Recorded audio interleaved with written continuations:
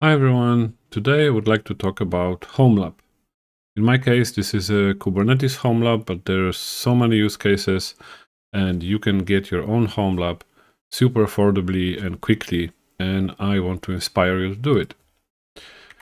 So my HomeLab is centered around Kubernetes and it's mostly my playground. I work with Kubernetes, so I experiment a lot, install stuff, but I have also a few applications that are quite useful. Your use case might vary. There's lots of YouTubers and people out there that have essentially mini server farms. My first home lab was running on a refurbished old laptop, so you can span across all kinds of spectra here. So why home lab? Again, the reasons vary for my use case, this is predominantly driven by the need to experiment safely with Kubernetes and have some of my own uh, useful use cases. But at the end, your idea might be different and you might be motivated to create your own home lab for something completely different, like host an actual useful software or just have a backup services.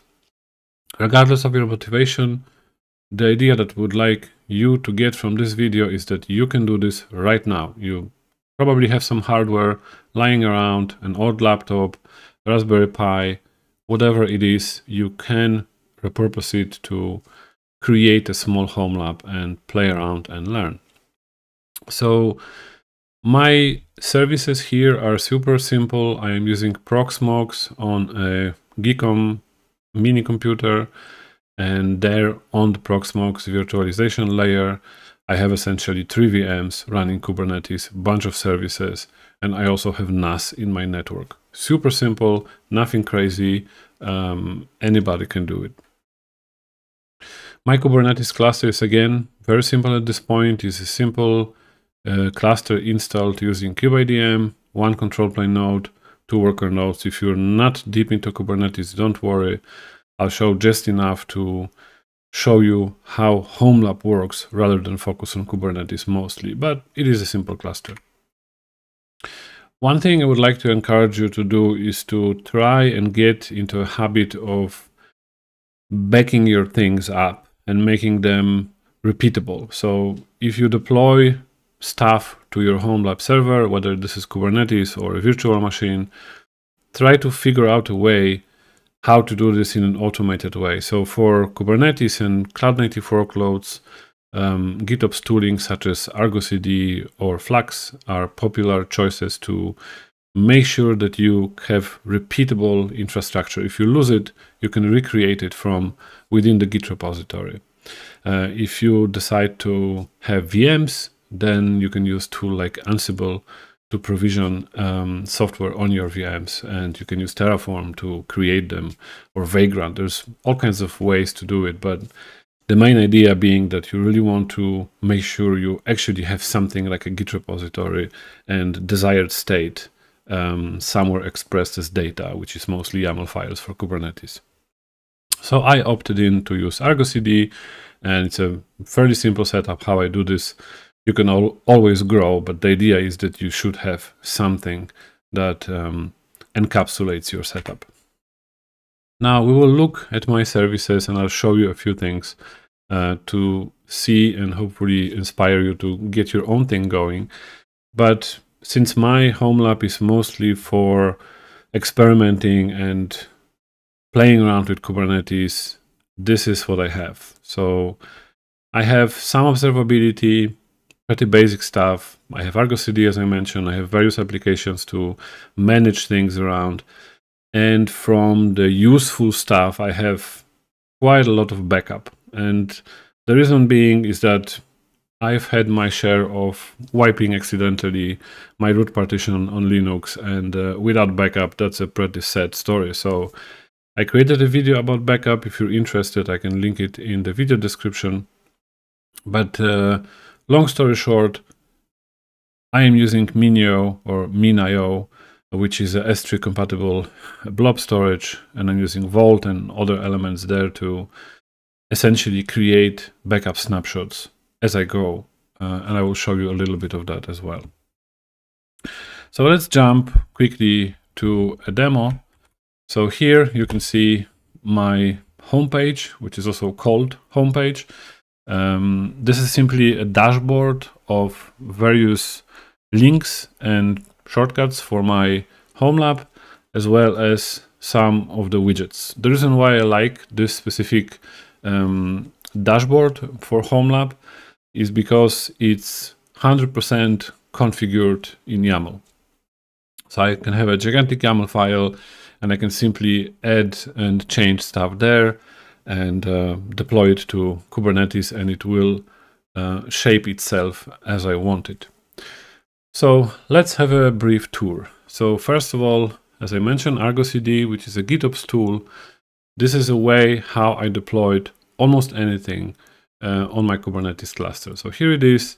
I have currently uh, five apps. And if you're not familiar with Argo CD, don't worry about it. It's just a way to take something declarative like a Helm chart or just Kubernetes YAML and deploy it somewhere. So let me show you, for example, apps. And you can see we have here a bunch of deployments. So in this case, five various deployments that I have in this group. And uh, if I uh, unclick it, there's quite a lot of uh, resources that you can scroll through here and see their health status. So that's Argo CD. Um, if you're interested in any of the elements that you're seeing on the screen, if you would like me to dive deeper into any of those, drop a comment, uh, let me know uh, in the video comments, and I'll, I'll do my best to create a video dedicated just for this specific topic. That's Argo CD. Another interesting one is Portainer. So it is also in my management section. Portainer is a little less known, but I find it quite interesting for visual management of Kubernetes clusters and Docker. So if you have Docker daemon, whether it's on your machine or remote, or in my case, Kubernetes, you can have this kind of nice dashboard which with a bunch of added options. So custom templates is quite interesting option for Portainer where you can deploy your own applications. And as you can see, we can see, you know, namespaces, apps, you know, dashboard, and so on and so forth. So pretty simple visualizer. I use it sometimes, but most of the time, if I have to see or do something on my Kubernetes cluster, I use K9s, which I'll show you in a moment, which is a terminal-based viewer. So that's the second one. Now I have here various set of observability. As you probably know, Prometheus, pretty basic, Grafana.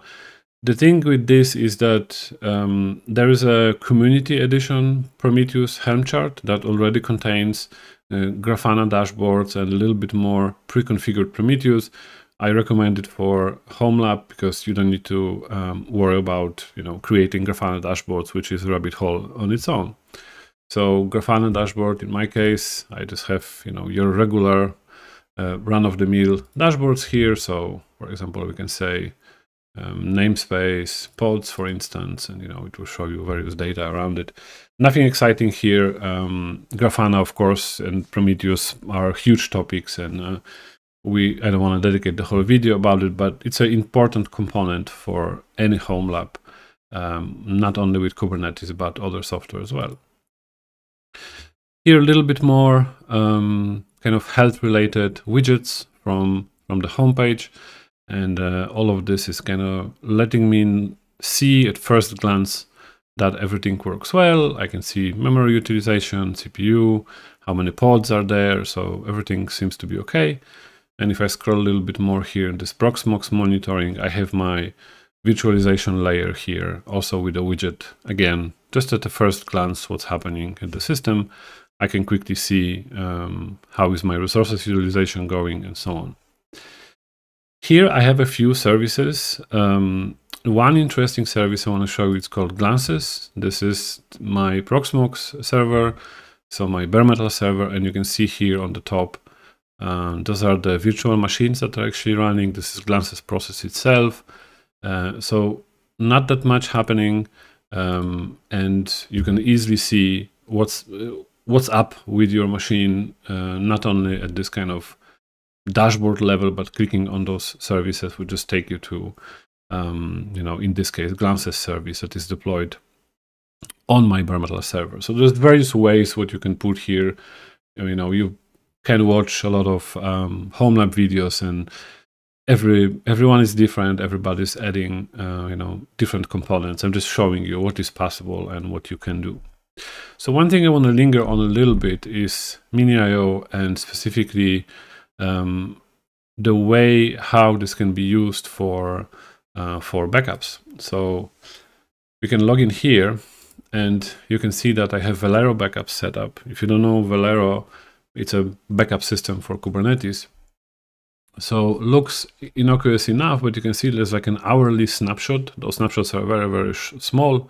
So this is just one megabytes and otherwise it's just kilobytes of data. So I'm not worried about the, the space. But where this is stored, it's interesting. The whole backup is stored on my NAS server. So there's a little bit of setup required to do it, both from the NAS uh, perspective, I use Synology, um, and from Kubernetes to set up persistent volumes and persistent volume claims correctly and storage classes. But it's a really nice way of um, using remote server in this case, in, the, in my case it's NAS, to back up important data. Um, this has something to do with, you know, of course, safety that your data is you know not going to be lost but also um, as most of the home lab use cases this is a lot about data sovereignty where you can say this is my data. I i want to control it. So definitely interesting. Also interesting because you can take the same setup and move it to S3 bucket, either to AWS S3 or any other compatible services like Cloudflare, for example. So very, very nice way of moving data around and kind of packaging it. All right, so a little bit more um, data here. Um, I'm not going to show you everything, um, but you can see Proxmox itself. I also have Synology, uh, as I mentioned, with backups and so on, and some more data here at the bottom for my Kubernetes nodes. So this is what I do for my um, for my home lab. Let me show you how it looks like uh, internally. So this is the viewer I mentioned earlier. It's called K9S. Uh, you can interact with your Kubernetes cluster. Those are all the pods that are running here. So quite a lot of them. Um, you can also swap views to have a little bit more more data here, for example. And then you can see, you know, sorted in different ways and so on. So, so the K9S provides quite a lot of interesting options how you can interact uh, with the whole cluster and so on. Now, as I mentioned earlier, all this is within my repository. So I have, you know, GitOps folder, infra folder with uh, Terraform, and I'm also using DevBox. So there's a lot of elements here. This repository is not public, however. I'm still, um, you know, working through uh, getting some uh, sensitive data cleaned up from here. Uh, and I will um, definitely open source it and then you know make it public for you guys to to take a look. But that's what I wanted to show you. Um, so now, what are the benefits? Um, for me, there are kind of three key benefits. First of all, having a home lab, whether you would like to play with Kubernetes, other technologies, or having VMs, you know, whatever it might be, um, this is a really nice way to experiment if you happen to destroy something, that's no biggie. Um, you can have a dedicated VMs or elements that experiment, and you do not put strain on your own system. You externalize it in some form of server. So for me, personally, the experimentation part is the main driver for having a home lab. Um, then obviously you can also, uh, you know, create set of your own tools. I, for example, have a MCP server that is running uh, on my home lab as well um, for AI and you know K-agent, all, all kinds of crazy stuff that you know I play around with, and either I leave it running there or delete it. You can have also, you know, you can deploy your own web app, right? You can deploy your own web app, make it public, secure your server, and sanitize it a little bit, and um, you can run your own little web app for free, uh, or you know whatever um, service you would like. This requires a little bit more in-depth knowledge mostly about security, uh, authentication, authorization, and so on, but it's a really nice rabbit hole. And as I mentioned earlier, data sovereignty is a big one. So you buy a hard drive, you know, you can buy used uh, old um, Synology drive or, you know, other network drive. um, or even old server and make a habit of grabbing your own data, whether it's you know email from Gmail or anything you can download, and just keep it with you. Download it and keep it with you. You can of course go really deep into what kind of backup strategies you want to do, what disk you're using, and there's a lot of you know options, and you can kind of go really in depth. But the easy and simple stuff is just get a disk, get a hard drive, and, and store your data um, as much as you can, and, and then you kind of will have real ownership over over your data. So those are key takeaways for me. There are obviously more reasons to have a home lab and to play with it, but I just wanted to show you what is possible, how I do it, and hopefully inspire you to to get your own. A few resources, as always, you can read about various services that I'm using.